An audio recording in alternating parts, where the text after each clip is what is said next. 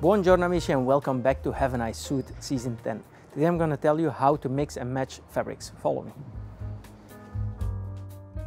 Amici, summer is coming, so let's talk about how to mix and match fabrics on your sport jacket or your blazers. First of all, let's keep your suit together. Never use your jacket or your pants for a blazer or as a blazer, so keep it together. Amici, let's start with a classic Italian blue blazer.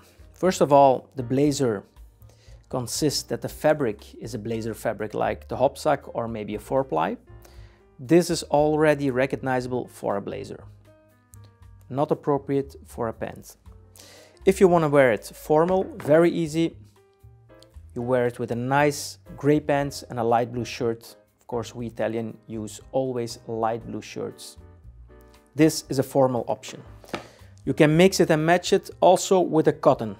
If it's more sporty, you can mix and match with a nice 100% cotton pants. And then you have the more sporty look. So these are both appropriate on a blazer. Amici, let's talk about the sport jacket. How do you recognize a sport jacket? Well, it's very easy. They have a pattern in it. How to mix and match this with your pants. Very important.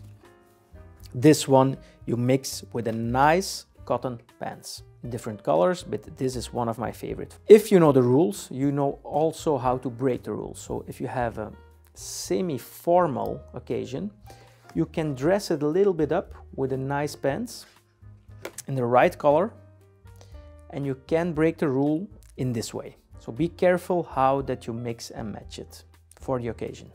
Amici, let's get to the linen. The linen season is coming. I love Irish linen, for example. If you do linen, you do a full suit, never use it as a jacket alone. If you want a linen blazer, use it as a blazer. For example, this green linen. I don't like when you mix and match it on a cool wool. This is for me not appropriate. The best thing to match it is on a linen, 100% linen pants or 100% cotton, like this. Or if you want to take it to the next level, you can use wool, silk and linen. This has a nice linen look and so you can break it up with these two fabrics. But never use the cool wool.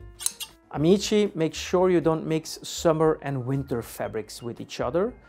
Keep summer in the summer fabrics and winter in the winter fabrics. Wishing you all a buona domenica and have a nice suit.